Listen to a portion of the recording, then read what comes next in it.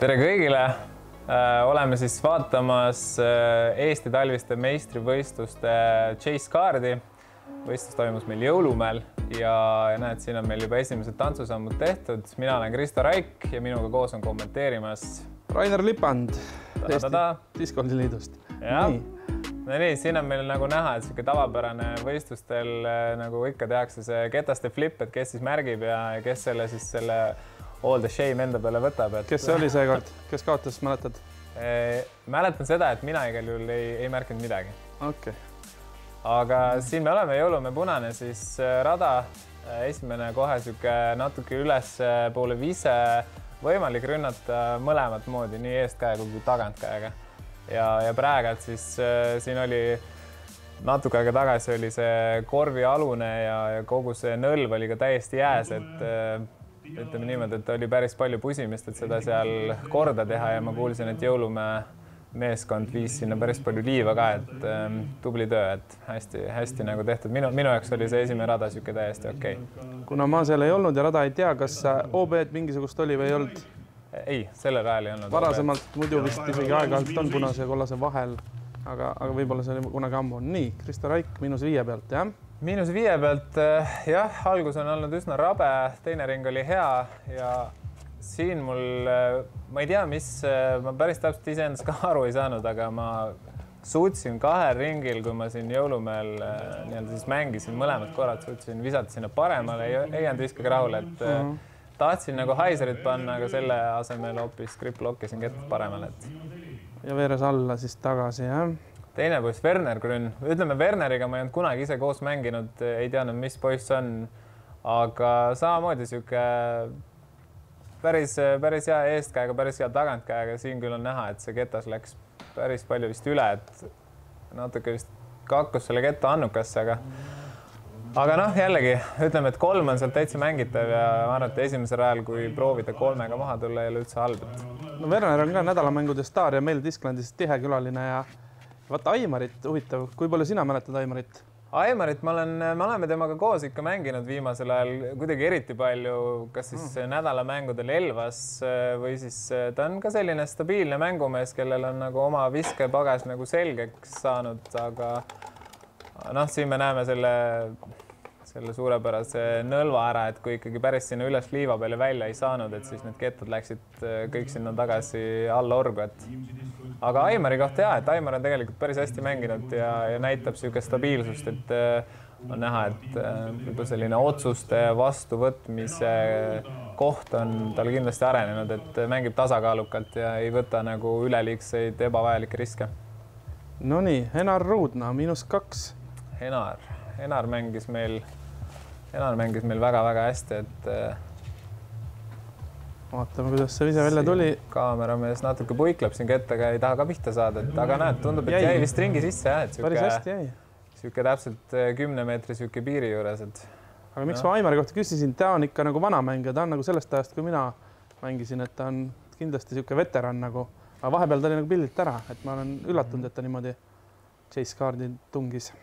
Noh, siin me oleme mõlemad samamoodi siin all, eks ju, et nii, kuidas on sealt, noh, sihuke uphill'i eestkäe väike põks. proovid saada sinna kuskile korvi lähedale, et äh, ketta käest lahti lasin, siis tundus päris hea.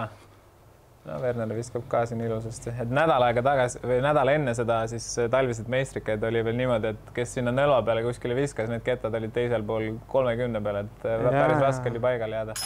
no ja siit uh. Oh, siin Enar ikka alustab kohe väga tummise putiga, et väga julgelt jah. jah, aga noh, hea on alustada niisugust ringi, siin oli näha, et käsi ei commit inud äh, Aimaril päris lõpuni välja, et mäest üles putt, aga no ju ta kardab ka neid libisemisi võib-olla.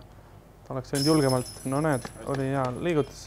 jah, Barju, sa oled kindlasti okei okay, nagu. absoluutselt barriga lähed rahulikult edasi ja siin teistel poistel ongi barripidu ja Enar siis ainukesena pöördi ikka vaja, aa ei, vabandust, Aimar tuli pogisid, just, just, just. et äh, jah, Enar ikka eristus nii, räägi sellest rajast.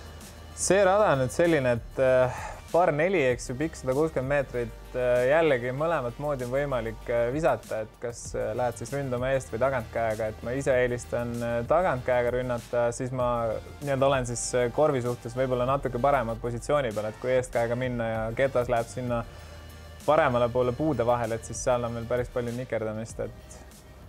ahaa, kõrgendatud korv. kõrgendatud korv. okei okay,, seda ma ei teadnudki, no ma ei ole see aasta käinudki, noh no nii, vaatame. seda enam on sul põnevam vaadata, mis on, on ja.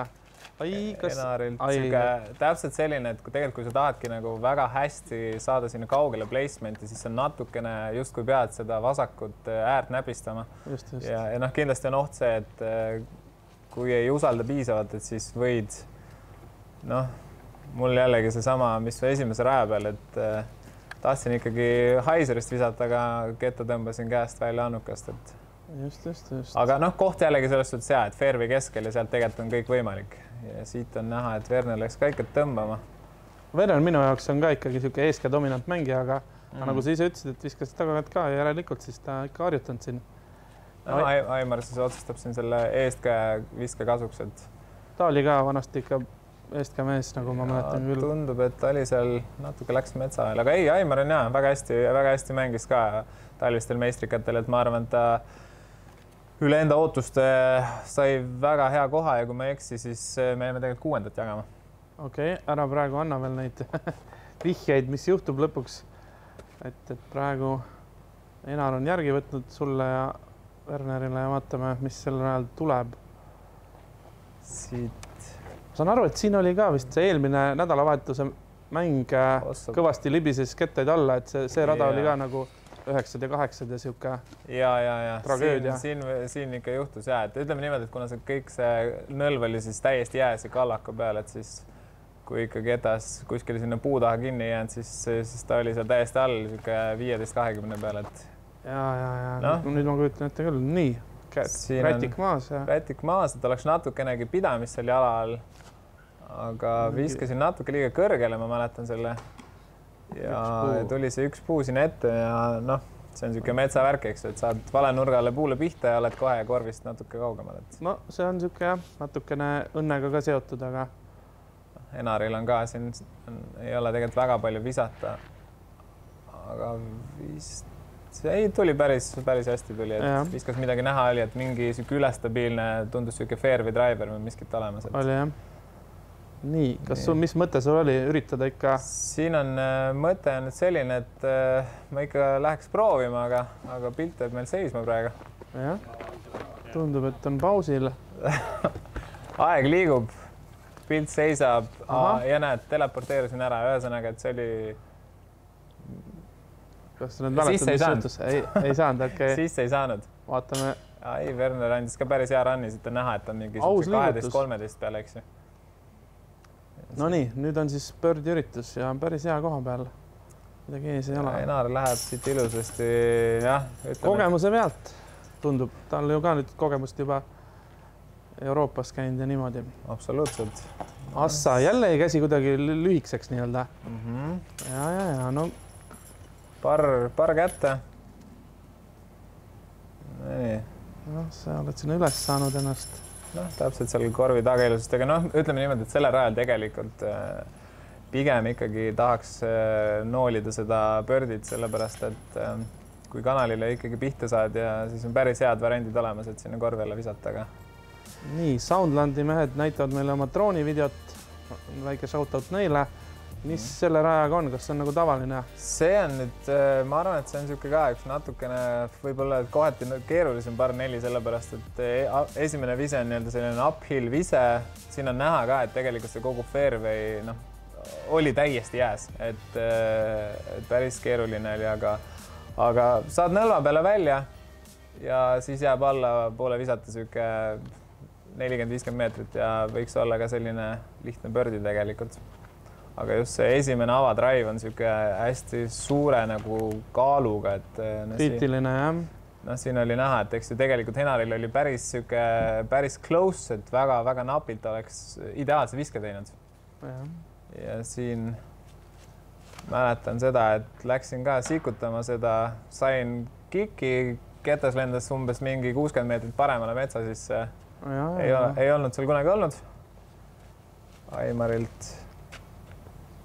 Aga sa mängisid kiirema kettaga seda või aeglasemaga? ja viskasin Hurricane ja okay, kiirem kettas siis. tõesti, seal paljud tugevad poisid viskavad ka lihtsalt keskmaad jah, selles suhtes on kindlasti variant, et äh, minu puhul on vähemalt see, et äh, olen aru saanud, et ma ei kontrolli nii-öelda siis äh, keskmaa kettaid siis nii-öelda paremini kui driverid näiteks, et kui ma eksin seal tiiala pealt driveriga, siis ma oleks ilmselt eksinud ka keskmaa kettaga. ja, ja see on täitsa võimalik siin on Henar nüüd viskab siin noh, täpselt selline, et ilmselt mina, mingi kanal tal seal oli ja ma arvan, et arvestades stsenaari asukohta, siis see oli päris hea ja mina olen siin ikka päris sügaval metsases ja mul oli, ma ei ütleks, et ainuke variant, aga minu jaoks kõige loogilisem variant oli hästi ülestabiilse kettaga oda, mis maandus tegelikult sinna näed fairway ah, peale, aga kuna see kogu fairway oli täiesti jääs, siis see ketas otsustas, et ta tuleb ikka täiesti alla välja. no ikka ebaõnn võib jälle öelda, et tegelikult said läbi päris igalt poolt no ja nüüd on teine, teine oda, et, et ütleme, et kui metsas äh, oled ja odasid pead ainult viskama, siis saad aru, et mäng on päris raske. ja see oda nüüd, see oda tuli päris hästi isegi, ma mäletan, et see jõudis sinna pin high korvi juurde, aga ma arvan, et see oli niisugune viieteist peal umbes nii. siin on näha, et kõik peavad tegema siukseid ebatavalisi viskeid, eks ju, et aga. no tehniline värk, aga väga ilusti tehtud ja veel maapind ka mängib ja. see oli tõesti ilus. Aimarit väga hea vise ja nüüd Werneril on ka siin. annuka keeramine, et ma arvan, et kõrgus on siin oluline, kui. kõrgus on oluline. no. täpselt ei saa aru, ikka päris hästi tuli sinna ringi sisse ära nii, ahah, siia siis sai. Enar on, ma arvan, korvist niisugune kakskümmend viis võib-olla, kakskümmend viis kuni kolmkümmend ja kuna seal see samamoodi see korvialune oli ilusasti ära liivatatud, siis need kettad jäid sinna pidama, et jällegi siin natuke aega tagasi oli see korvialune seal päris, päris jääs, et no ütleme niimoodi arvestades, kui ma mõtlen selle enda asukoha peale, et kus ma olin siis sellest kohast, kus ma praegu nüüd putlisin, oli, päästsin, üritasin päästa siis barri tegelikult, et äh, et suurem tulekahju sai ikkagi nagu ära kustutatud nende utility viset, visetega, aga. seda küll, sa ei teinud seda suuremat viga, et esimese kolme puu pihta ei visanud, vaid said ikkagi koridoridele enam-vähem pihta, liikusid edasi. nii, Aimar, siin oli Henar, võttis barri. Võtan siit. ei no see eelmine run oli tegelikult üla rauda oli ka päris veel üritus täitsa julge. jah, eks, eks peas oli ikka see, et kui on antud juba niisugune võimalus, et oled nagu nii palju siis vaeva näinud, et sealt metsa vahelt kuidagi sinna korvi alla saada, et siis vähemalt anna run nagu, et äkki on võimalik see parr ära päästa, aga olin tegelikult sellel hetkel Bogiga rahul ka, et arvestades, kus ma olin nii-öelda neljas rada, sada viiskümmend viis meetrit. Äh, siin on nüüd niimoodi, et vasakut kätt me näeme, seal on üks äh, puu, mille peal on valge silt, see on siis tähistab Mando puud. sellest puust tuleb mängida siis äh, paremalt poolt mööda ja varasemate aastatega on viidud nüüd korv sinna üles, et seesama keskkoht, kus, kus siin see lumine ala oli, et seal varem paiknes siis korv seal. et nüüd on korv viidud kaugemale, rada on tehnilisem, rada on raskem ja peab nii-öelda natuke rohkem vaeva nägema, et sealt pöördit saada. okei okay,, see ongi minu jaoks esimene uuendus tegelikult, et mm -hmm. eelmisi ma kõiki teadsin, välja arvatud see kõrgendatud teisel mm. -hmm. ja see rada on ju mulle alati endale ka meeldinud, et täpselt niisugune minu kaugus, et Mandost mööda visata, aga see on ikka tehniline. see Mando on seal, ma arvan, ka niisuguse üheksakümne peal ikkagi, et ja. aga, aga kuna see kanal nii-öelda siis see viskekoridor sunnib sind natukene nii-öelda siis äh, push ima piiri, et sa ei saa päris nagu seda vasakut äärt nagu näpistama minna, et siin on noh, see oli täpselt see piiripealne vise, et mis kui oleks liiga varaselt äh, ära fade inud, siis oleks võinud ka Mandost mööda minna, aga, aga selles suhtes sai hea kikk ja, ja jäi ilusti mängualasse sisse siis Werner. just, just, just. see on niisugune ka, et hakkas justkui Mando boost juba, tähendab ketas oli, maandus safe'i, aga tundus tiiala äh, pealt selline väga hea vise, aga tegelikult oli niimoodi, et äh, üks puu pärast maandot tuli vastu sinna. nii, no siin, kuna Aimar läks kohe alguses suht paremale, siis ta pidi päris palju pingutama, aga tundub, et jõudis sinna nõlva peale, kus on võimalik nagu noh, jällegi läheneda, et seal mingid koridorid on, siin Werneril on ka näha, et äh, läheb selliseks nikerdamiseks, aga väga hea vise tuli, aga väga hästi visatud. Ja tundus sihuke, vana korvi all põhimõtteliselt või noh, nagu oleks Mm. vanasti bördi, aga praegu vist ei ole. mul on siin samamoodi on tegelikult siis üks laiem koridor, mida ma siin proovisin sihtida ja ütleme niimoodi, ma mäletan seda, et et kuidagi, kuna see mängu algus oli nii rabe olnud ja raske olnud, siis äh, oli, oli nagu endal ka raskem leida seda touch'i üles, et äh, proovisin nii-öelda ellu jääda. ja siin oli näha, et Enar ka ühte puud ei näinud seal tegelikult, et äh, jällegi, kuna olin Enari selja taga, siis visuaalselt see vise tundus nagu väga hea, aga oligi täpselt see üks see on pull jah, kuidas puud puude taga on siin nagu, Just. see on väga ebameeldiv efekt, kui see selgub. mm,. jah, eks ta mängijate selles suhtes ka kogemuse kohta, eks ju, et kas sa veendud, et eh, kui palju sul see kanal nii-öelda ees tühi ja vaba on, et just, just, vaatad natuke teise nurga alt äkki ja Taimerit tundus ka väga-väga hea vise olevat. just. siin on ka üks selline, ma arvan, mingi kakskümmend viis, kolmkümmend minna. jõudis ilusti üles-välja, see on peamine, et eh, siin on, kohe näeme ka, et kuidas sinna korvi juurde minek on, et tegelikult seal on isegi niisugune väike nagu vall või müür ees, et eh, et kui jätad madalaks, siis oled seal müüri taga ja ei ole ka lihtne. siin me näeme siis seda, et, just, just, et tegelikult selle valli tagant on ka ikka paras nikerdamine. nii. Noh, siin oli ka selline kerge proov minu poolt, et äh, kuna see korvi tagune oli ka sihuke libe ja jäine, et väga-väga julget run'i ei julgenud anda, et pigem viska nagu kontrollitud vise ja aga teised poisid siin võtavad rahulikult oma barrid ära ja siis mina tõstan sisse siit puugi. jah, see viib äh, Enari siis nüüd teie chase card'i juhtima. aga noh, kõik on üksteisele väga lähestikku ja mäng on alles noor. Just. muidugi selle jõulumäe raja puhul on kindlasti see, et see front nine on äh, minu arvates äh, oluliselt lihtsam kui back nine, et tegelikult front nine'is justkui tahad korjata neid äh, birdisid, et ehitada mängu ülesse. et ma näen Enari mängust, mäletan, et Enari mäng oli selline kontrollitud hästi mängis, sai enamjaolt oma visetele ja kanalitele pihta, et ongi kohe, et kui saad oma asjale pihta, siis on nagu bördi selline nojah, need paar neljad nagu seegi, nad ei ole pikad, lihtsalt mm. -hmm. nad on tehniliselt selles mõttes, sa pead tabama kohti, kuhu visata need kaks viset, mis korvi alla peaks jõudma kokkuvõttes. nii, siit me näeme, et Ah, Aimar läks sinna paremale poole, see on tegelikult huvitav, et seal tiiala pealt on näha ka, et on võimalik siis nii-öelda otse visata nii-öelda siis koridori, aga samal ajal paremal pool on seal ka ruumi nii-öelda.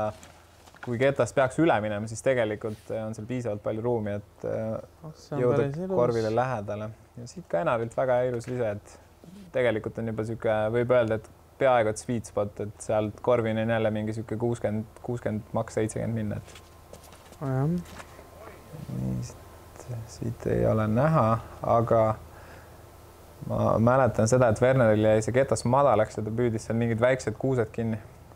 just, just, just. Mul samamoodi madal vise, aga sain nagu fairway'le pihta. ja olen seal nende samade väikeste mändide või kuuskede taga siis. Mm -hmm. noh, siin on näha, et Werneril on sellest kohast on ikka niisugune üheksakümmend natukene rohkem minna. ta läks üritama midagi, et ma mõtlesin, et ta teeb rahuliku, pigem rahuliku viske, aga, aga ta läks ikka tugevalt panema ja natuke vist ikka eksis oma tabamusega. nii, sul on niisugune sirge vise vaja teha vist või? sihuke tegelikult jah, ütleme niimoodi, et kerges haiseris oleks pidanud viskama, sain, viskasin breikerit, ketas läks nagu natuke sirgu, aga no jõudsin siia ikkagi ringi, ringi sisse. Kurling äh, töötas lõpus natuke korvi poole küll. nii, nii, ja siin on Aimar nüüd tuleb, tuleb äh, jah, sellise väga-väga hea lähenemisega ja noh, siit on näha, eks et siin on libe. siin on libe. Enaril on ka siit väike eest, eest ka põks teha. aga jah, see rada nagu näed, on raskuselt teine nagu seal üleval meil pildi juures on ka kirjas, et keskmiselt saadi kolm koma üheksa ehk mängiti teda alla barri ikka. jah, ei ole iseenesest nagu jällegi selline keeruline par neli, et vaja lihtsalt saada esimene sinna kanalisse ja OB-si ka ei ole ja hoobis ei ole, riske nii palju ei ole, aga aga just, kui kanali pihta ei saa, siis on keeruline, eks ju, nagu ikka metsaradadel, et just, just, just. nii, siin on meil Werner vist siukseid, ongi kümne peal, läheb proovima ja saab sisse ka. no väga hästi päästetud. on harjutatud, on harjutatud, tundub. nii, sul on samasugune ülesanne põhimõtteliselt. natuke rohkem altpoolt. just ja ja oli niisugune täpselt see vasaksektor, et äh, ei, oli näha tegelikult keha liikumisest ka, et ei, ei commit inud nii-öelda siis lõpuni välja oma liikumisega, et et et paraku ta pidi jah mööda minema, kuigi ta oli kettides. siit Enar võtab väga ilusa pöördi jälle. just, just, Enar on selgelt in fire ja liikumine on ka nõtke nagu näha mm. -hmm.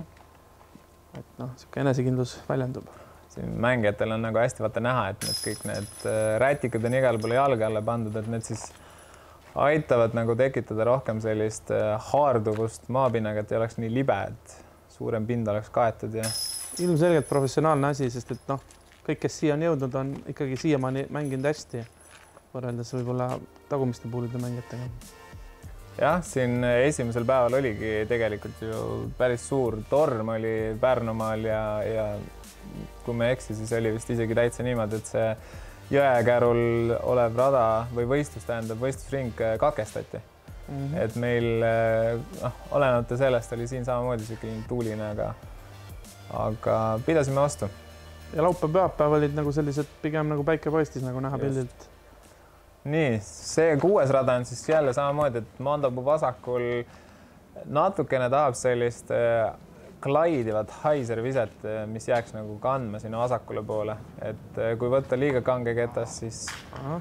vajub ära ja minu meelest siin. aga ta on tagagemeeste ikkagi, kas must bird'i, aga on ikka must bird'i või? Tead, ma ei ütleks, ta on ikkagi, ta nõuab nagu sellist äh, väga spetsiifilist äh, Haiseri joont, et, et kui liiga tugevalt viskad, oled tagapuudes, kui liiga vähe viskad, siis ta ei lähe ka piisavalt sinna vasakule poole, et ta tahab täpselt niisugust mm -hmm. parasjagu, et ma ütleks, selline päris tehniline vise. siin Enarit oli näha tiiala pealt juba, et väga-väga hea vise ja jõudis samamoodi sinna ringi äärde või vabandust, ringi sisse. nii, näed, siin me näeme ka Werner tagantkäega peale. siin on ja... jah, see natuke paremalt tuli. tõmbas natukene selle kette siis sinna paremal poole, et aga. ja näed, ta mängib vähemalt siiamaani välja, mis muidugi on üsna tõenäoliselt alla vise. aga no vaatame, eks Vernon teab paremini. nii, mis ketas on? Hellfire, see on First Flight Hellfire.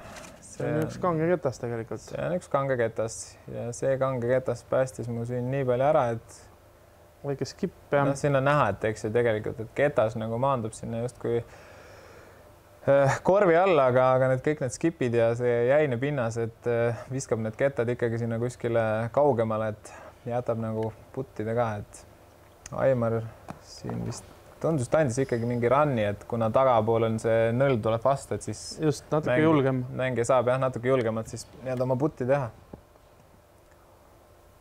niikuinii sa tahad ta sinna alla kukutada, et võib-olla see äkki kukub sisse ka.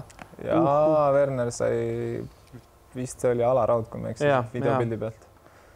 nüüd on mul see koht, et kus ma mõtlesin, et okei okay,, et äh, äkki on võimalus esimene birdie võtta, aga. aga siin oli näha juba rahulolematust, et. ilmselge nagu jah.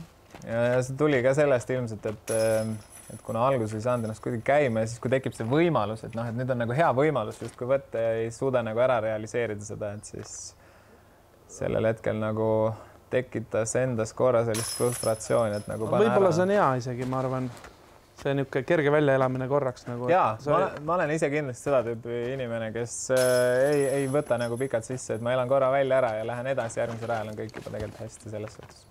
et, et hullem võib-olla kui jah võib-olla enda sisse jätta seda eksimust nagu, et, et noh, ta on nagu vähe lost chance, aga, aga. emotsionaalne inimene, emotsionaalne inimene, tuleb ikka välja elada ennast. no ja, ja Italiano Italiano. nii sada kuuskümmend seitse ja vana, see on päris tehniline poiss nagu äh, jah, siin on nüüd võimalus samamoodi, et kellel on niisugune enesekindlam eestkäsi, võib minna tegelikult täiesti ründama seda korvi ehk siis sellest maandost nii-öelda mööda mängima safe play on võib-olla jah see, et äh, mingi tagantkäe niisugune kangem ketas Haiserist äh, üle siis mingi väikeste kuuskede seal sinna vasakule poole ja siis sul jääb lähenemine, eks ju. just, mis on ka mitte päris niisugune puhas, vaid niisugune mitu kanalit ja. just, siin me vist näe juba Enar line-up ib nii-öelda sedasama Heiser viset, et. jah, niisugune loogiline lähenemine, eriti ta on ikkagi rohkem tagaga mängija. just ja tundub väga ilusasti. aga ma ütlen, et ka näha, et neliteist on raskusaste, ta on üks juba raskema pool, poolsemaid ja mm, -hmm. ja ma ütleks, et ta ka on, et ütleme, nõrgema käega mängijad, noh, eestkäega ei saagi sinna Mandoni ja ja tagakäega ka peab ikka pingutama ja noh, niisugune asi võib ka juhtuda, eks ju. see Ketas nüüd jah, Aimar vist ei saanudki nagu aru, et kas ta tõmbas selle üle ja tegelikult tiiala pealt ei saanud aru, kas see läks Mandost õiget poolt või mitte. ja, ja ma mäletan seda, et, et kui me jõudsime sinna kettani, siis me ikkagi otsustasime, et see läks õigelt poolt läbi, sellepärast et see okay. tundus loogiline. ja noh, siin on näha, et Werner läheb nüüd seda ründavamat siis äh, strateegiat mängima, et äh, et proovis siis nii-öelda kohe sellest maandost mööda mängida, aga täpselt videopildist ei saanud aru, kus see ketas maandus. nii, vaatame sinu viske ka ära. ja mängin samamoodi sellist, äh, proovin sellist safe Heiser Blade Väga kõrgemalt. Extremely. Tulid jälle suured skipid jää pealt, et ja, ja nüüd olengi niisuguses korvini, ma arvan, niisugune kaheksakümmend, seitsekümmend minna, seitsekümmend, kaheksakümmend. Quake'iga viskasin ja ja me, Ketas jõudis tegelikult sinna umbes mingi, ma arvan, et üks kolmeteist, neljateist peale sinna pin high paremale poole, et. ma arvan, et see on okei okay., sa olid ikkagi natuke out of position juba. kindlasti, kindlasti. okei okay, saavutus. Enaril tundub ka, et on tegelikult selline vist päris isegi saab vist otse korvi peale mängida. ja aga tuli esimene puu vist vastu. jah, ja esimene rahulolematuse Just. ilming. Aga noh, see ongi täpselt see, et sa oled seal äh, positsiooni peal ja tegelikult ega sa ei tunne ennast veel lõpuni välja ka päris hästi, sellepärast et äh, sa pead ikkagi nendele kanalitele seal pihta saama ja, ja just ongi oluline, eriti sellisel metsarajal, et see fookus, et sa usaldad iseennast ja sa usaldad oma reliisi ja, ja commit'id lõpuni nii-öelda ja, ja äh, ketast ka tõenäoliselt. nii, väga hästi. mängis siin ilusasti sinna korvi juurde ära ja nüüd Enarilt siis selline.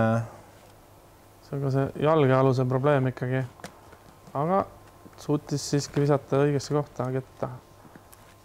vaatame, kui kaugel läks. nii, mul oli nüüd siin, ma mäletan seda, et putil oli siin üks äh, väike kuivanud raagus mingi puu ees, et pidin nagu üle, üle selle viskama ja tundus jällegi mm -hmm. putimise hetkel tundus väga-väga hea vise olevat, aga ülaraud. Ja siit Aimar oli näha ka, et ei olnud vist, kas ei olnud piisavalt selline mugav positsioon, et pidi sealt mingit Haiseri asja proovima või, või ei saanudki täpselt aru, et. nii korralikult keskendub ära, et võtta see barr ära, sest tal on niisugune mm -hmm. kindel liid, liidriseis praegu jah. ja Werner, võttis siit pördi ja ja teistele, teistele poistele barrid. nii. no see on üks niisugune huvitav rada minu meelest, et äh, korvi pikkuseks üheksakümmend viis meetrit, jällegi pead nagu viskama uphill'i veits ja, ja sul on äh, siinsamas fairway peal siis nii-öelda paremal ja vasakul pool, nagu siit kaamerapildist on näha, on siis nii-öelda selline tunnel, millele sa pead pihta viskama või läbi viskama sealt. Ja, ja strateegiaid on jälle erinevaid, et kes viskab siis äh, kas mingit high flip'i või, või viskab üldse siin mingi midagi muud, et Werner otsustab siin eestkäe kasuks, ma üritangi tuletada meelde, mis viske ta siin tegi ja läks vist ikkagi üle, üle minevat sellist mängima. Jah, ei, see on väga omapärane disain sellel rajal ja, ja ja kuigi tunduks, et see ülesmäge on nii palju, et sa pead viskama, ma ei tea, võib-olla saja kümne meetrist viset, siis tegelikult isegi ei ole nii palju vaja. sa õige kõrgusega sealt üle lähed. no näiteks see tundub päris ilus. joonena just. ja, ja sai, läks isegi ah, ikka seal kümne meetri ringi lähedal, et tundus, et vist on natukene grammike pikk, et aga just vaata, mis Aimar, Aimaril on plaanis, viskab ka midagi sellist. ka ilusti. Väga hästi ikkagi sihuke kerge haisev flip, et äh, väga hästi visatud. kas, mis sa arvad, kas Simon läheks nagu Spike Heiserit hästi ülevalt või? ma arvan, et äh, on võimalik jah, mina viskasin putterit siin, mõtlesin, et selline võiks äkki olla, aga ja jäi ka sinna, ütleme, et noh, pikk tee minna veel. just seal vahel on isegi oldud ja sealt on jah, kuidagi ikka kolme mäng, kui just ei ole imelist putipäeva. Jälle sihuke väike proov anda, õnneks on see taga, korvi taga oli jälle sihuke natukene sihuke nõlva, mis nii-öelda pidurdab siis selle kettalennu ära, et ketas väga kaugele ei lähe ja Werner.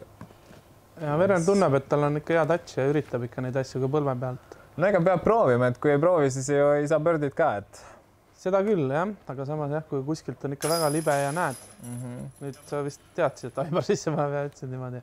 Aimar võttis sealt ära ja et läks, läks proovima. No tal oli jah. Enaril samamoodi tegelikult nüüd Birdi putt siin, eks ju. aga temal nüüd võib-olla on isegi jää siin taga või? ja vot no nüüd, nüüd oligi täpselt see olukord, et äh, natukene siis äh, läks, läks nii-öelda korvist mööda ja ongi, et kui ketas sinna jää peale läheb, siis ta võib libiseda päris palju, et see on mängulises mõttes Enaril praegult nüüd väga oluline putt, et mitte nagu momentumit ära kaotada ja tegelikult pani Päästa selle ära nagu,. Et selles suhtes ma arvan, et äh, Enaril oli siit järgmisele rajale päris hea tunne edasi minna. just, just, just. et enne teda Werner ilusti viskas alla nagu, et nägi, et siin taga on ikkagi langus ja jääm. nii. nii, üheksas rada. oi, see on hea rada. sada viis meetrit jälle selline, mõlemad variandid on siis äh, nii-öelda laual, et saad minna nii eestkäega kui tagantkäega mängima. Kuidas siis kellelgi see viske touch parem on, et mida paremini kontrollib. Äh, see on alati kihvt disain, kui on kaks eri nagu suht võrdset nagu äh, nii-öelda marsruuti mm. -hmm. et, et ongi, et saab erinevaid variante valida siin rajal on kindlasti see väga-väga võrdne minu meelest, et nagu reaalselt mõlemad koridorid on avatud ja, ja saad, kui, kui saad oma viskele pihta, et siis on, on võimalus pöördit päris hästi mängida. siin Just. on näha, et Aimar ei jäänud ka selle viskega rahule, et juba tee ala pealt vist tundus, et oli mingisugune viske nii-öelda error tuli sisse. just, just, just. Werner läheb siit, läheb eestkäega mängima, aga tundus, et Äh, pani vist käega natukene peale, et kui ma ei eksi, siis see ketas äh, liikus päris kiire hooga sinna vasakule poole, aga sai vist puukiki ja, ja ketas maandus hoopis paremal pool siis nii-öelda oh,. Ta tundub minu jaoks üks lihtsamaid radu, radasi, aga noh, see oli jälle ilus ise. tundub, et siin ikkagi korvi all on päris kiire see nii-öelda green nagu, et hüppavad ikka jälle minema. ja, ja. tal on vaja varem alla kukkuda sa läksid ka eestkäe pealt? eestkäega proovisin ka sinna. aga ja. ei saanud kanalil pihta, mäletan, mäletan seda, et, et ei commit inud oma viskasse lõpuni, et et oli mingi natuke ikka ebakindlus veel sellest eh, varasematest radadest vist sees, et. aga sa nagu seal juba võistluse ajal nagu korraks analüüsid oma viset, et et ei olnud commitment'i? ja ja, ja ma, ma kohe nii-öelda, kui ketast käest välja läks, ma sain aru, et ma ei commit inud lõpuni. siin ma lähen ka midagi ikkagi proovima veel, et äkki on võimalik päästa seda mm -hmm. pöördit nii-öelda siis, aga, aga ja selles suhtes analüüs vähemalt minul käib küll kiiresti mängu ajal, et, et kui ma, kui ma mingi, mingi viskega eksin nii-öelda, et siis see tagasiside käib hästi kiiresti, et see aastatega tulnud nii-öelda analüüsioskus ja võime, et, et saad aru ja siis tulevikus või järgmistel radadel siis proovid nagu jällegi seda üles ehitada, et, et mitte jääda siis mõtlema nii palju selle peale, et mis ja miks, vaid, vaid kuidas saab paremini. just. Enar, suurepärane pöördi jälle, täiesti ilus putt jälle selliselt. väga hästi, see oli jällegi, see oli päris, päris päris suur putt tegelikult, sellepärast et teades korvi tagune ja kõik see on samamoodi, eks ju, jääs, et äh, ilus commitment ja, ja hästi nii-öelda siis tasustatud kohe. ja me siin lõpetamegi ju front nine'i. Enar on teinud miinus neli ja tõmmanud kõvasti eest ära. sina võtad selle parri siit ja olete koos seal miinus neli, miinus neli, miinus kolm siis Enarile järgi tulemas ja näed, siin ongi siis praegune hetkeseis. see on siis jah, front nine, et ma jah, kindlasti oma tulemusega ei, ei saanud rahule jääda, oli päris keeruline. aga, aga mäng on kord niisugune, et äh, vahepeal tuleb ebaõnnestuda selleks, et äh, tulevikus jälle õnnestuda. samas esimesel ajal niisugune suht ikkagi juba keeruline putt läks ära, et hullu ka ei olnud, nagu käsi ei värisenud. Werner on ilusti front-nine'is maha tulnud parris, üks bogey, üks birdie. Samamoodi proovib siis äh, ikkagi seda tempot juurde panna, et äh, jõulumäel on minu meelest alati see olukord ka, et kui sa oled need esimesed üheksa korvi ära mänginud, siis sa saad aru, et oh sa pagan, et juba on pool rada läbi, et äh, teine pool nagu läheb ka päris kiiresti, et ütleme, et see on see punasel ennekõike nii, kollane on, see on vähe pikem poiss. täpselt. Aimaril siis äh, miinus kaks, väga ilus. kolm birdit ja üks bogey siin tegelikult on noh, front nine on ka, ei ole midagi hullu, et kõik on, kõik on päris hästi tegelikult. Enaril on siis äh, väga ilus puhas mäng praegult, et äh, front nine ja viis alla. oli teada huvitav, mida tegi esimene grupp, et kas Enar oli jõudnud kuhugi juba medali kanti ka või?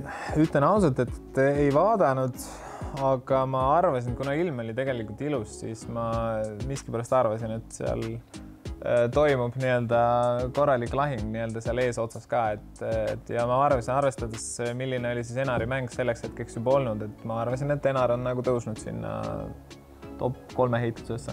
väga hea, lähme vaatame seda teist poolt ka, et siis saame teada, mis juhtus. täpselt nii